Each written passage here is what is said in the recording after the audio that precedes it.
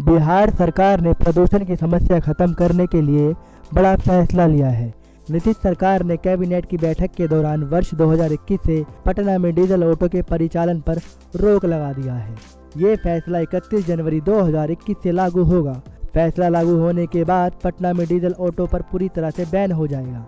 इसके साथ ही 31 मार्च 2021 से पटना से सटे दानापुर, फुलवारी खगोल नगर परिषद में भी ऐसे ऑटो के परिचालन पर बैन रहेगा।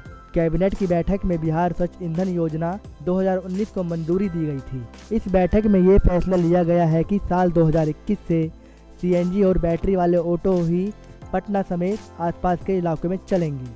कैबिनेट की बैठक में कुल 12 एजेंडों पर मुहर लगी। नीतीश कैबिनेट के इसके साथ ही पटना नगर निगम, दानापुर, फुलवारी शरीफ, खगोल, दानापुर परिषद में 15 साल से ज़्यादा पुराने सभी कमर्शियल वाहनों के परिचालन को तात्कालिक प्रभाव से प्रतिबंध की स्वीकृति दी गई है। मालूम हो कि हाल ही में पटना को देश का तीसरा सबसे बड़ा प्रदूषित शहर पाया गया था। इस आंकड़े के आने के बाद सरकार ने आनंद पानन में बैठक बुलाई थी। बिहार कैबिनेट के अन्य फैसले में निगम और बोर्ड के कर्मियों का डीए बढ़ाने का भी फैसला लिया गया है।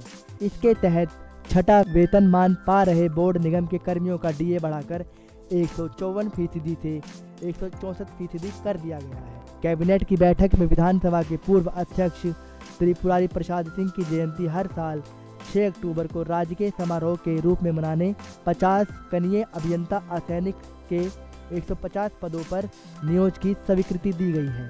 नेक्स्ट नाइन भोजपुरी से रोहित की report. Next nine news Bhojpuriya के सब्सक्राइब करें और लेटेस्ट अपडेट खातिर बेल के आइकन वाला बटन दबाएँ।